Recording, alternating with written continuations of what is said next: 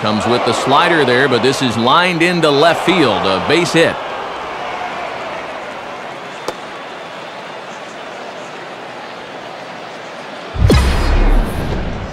Here you go. Let's look at this with our State Farm show motion camera. Look at him pick that front leg up, brings it down to get set, and then bang! Right down the left field line. That's a great look there.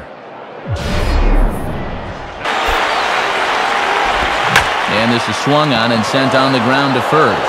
And that's through into right field for a base hit. A run is in.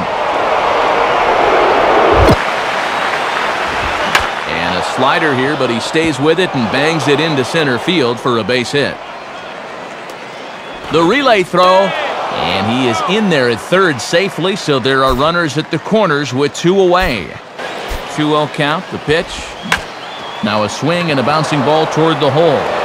And that's through into right field for a base hit. Throws there, and he is out on a beautiful throw as he just came up firing that time. The 2-2 coming. Oh, on the ground to short. Could this be two? To second for one, and it's wide of the bag and right by him. Ah, you got to be able to pick up your target at second base.